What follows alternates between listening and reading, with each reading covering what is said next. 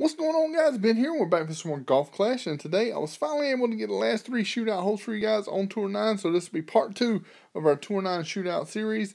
And we're going to start off with this newer hole that was added right before the Haunted Hills tournament. It was also the Golden Shot par 3 hole that we used when we did the Golden Shot, this, this past Golden Shot.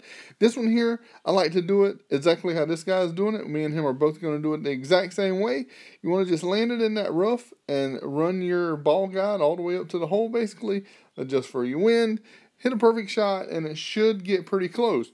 With a headwind, I like to run my ball guide a little further past the hole, just slightly though, because if you go past the hole, it will kind of roll down and go past the hole into the fringe or even on the little fairway spot over there. But um, as long as you don't go too far, you should be okay. Usually I can get it pretty close on this hole, but I was only able to get this hole one time the entire time I played Tour 9. Well, two times.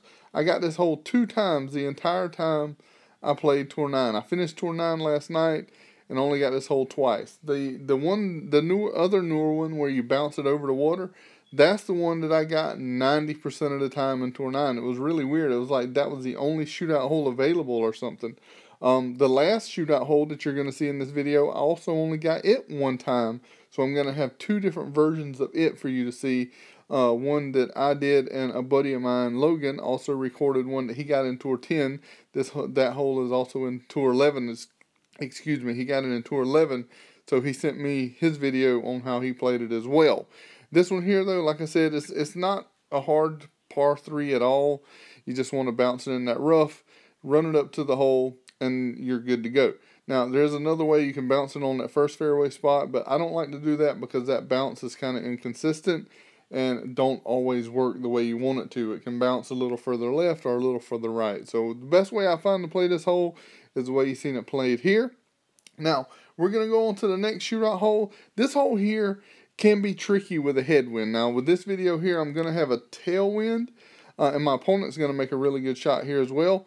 Uh, with this hole here, though, I want to talk more about a headwind. I understand this video is going to be showing it with a tailwind, and you can, you know, see what you want to do with a tailwind as well. Um, but with a headwind, this hole is going to play a little tougher because when you look at your ball guide and you see where your first bounce lands, when you have a headwind, that first bounce is not going to land where it says it's going to land. It's going to land shorter, shorter. So a lot of people you'll see when they go to bounce this shot over will land in the edge of that rough up there, and it won't get all the way to the green. It'll end up short on the on in the rough or in the fairway. So that's something you really want to pay attention to with this hole when you're playing with a headwind. What I like to do that helps me out is I check where that first bounce is going to land and then I make sure my ball guide is going slightly past the hole. Usually I only put like two bars of backspin with the sniper on this hole when I have a headwind. With a tailwind, you want to put three to four. Basically, you just want to line it up where it looks like it's going to go into the hole, adjust for your wind, and you're good to go. Now, I have seen people play this hole here over to the left. If you see that bunker, I've seen them play it over to the left, short of that bunker, bounce it over and curl it in. I have seen that work, and I've also seen that go well past the hole. So it's up to you how you want to play it. But as you can see, my bounce right there, it was going to land just past uh, the edge of the rough but with that tailwind, that bounce is going to go further. So your bounces are longer when you have a tailwind, and your bounces are shorter when you have a headwind. That's something you really have to pay attention to once you get into the higher tours is you got to know that your bounce is going to be different than what it says it's going to be with different winds. I ended up losing this shootout here. My opponent made a really good shot. I hit mine great to the right, and it ended up taking the wind took it further to the right. But like I said, that hole there is really more important when you have a headwind than it is a tailwind. I wasn't didn't wasn't able to get a tailwind with that shot. I mean a headwind on that hole, but I was able to at least bring you a video of it. This hole here. All right, I have two different videos of this hole here coming up. One, I needed more time to talk about it. Two, there's uh, different ways that you can play it. Now, but all the ways that you're going to see are going to be off this island, which I think is the best way to play this hole. But one thing you really, really, really have to remember on this hole, guys, you're at the shortest end of your club, your shortest length of your club on this shot. So you want to slightly pl- underplay this wind. You see it's a 7 mile an hour wind from right to left. I only adjusted for 6 miles an hour wind. I only adjusted for 6 rings and I put a slight curl to the right on it to even counter it more. And as you can see, it landed right in the center. This that's the biggest thing, the biggest problem I see with people having problems with this hole is that they don't understand that you're at the shortest part of your club on here. And what you really need to do is underplay this wind. Hold on just a second. You really have to underplay this wind on this hole because it don't play like you think it's going to play.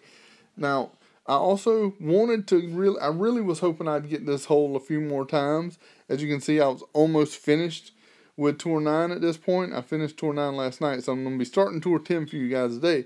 But as you can see, I was almost finished with my, with my trophies. I was almost finished with Tour 9 when I finally got this hole. Now, like I said, the biggest thing to remember is with a headwind, you want to have what I do is I have my ball guide going slightly past the hole when I line it up and I let you know I adjust for my wind, and then I let the ball run up to the hole. Now he didn't put enough backspin on his. I really, I think he he adjusted right. He adjusted for a lower, uh, lower rings than what he needed to. He just didn't have enough backspin on it. Um, now I'm gonna have another video of my buddy Logan. He's gonna be playing it the same way, but he's gonna be playing it with a cataclysm, and you will see here that he's also gonna underplay the wind.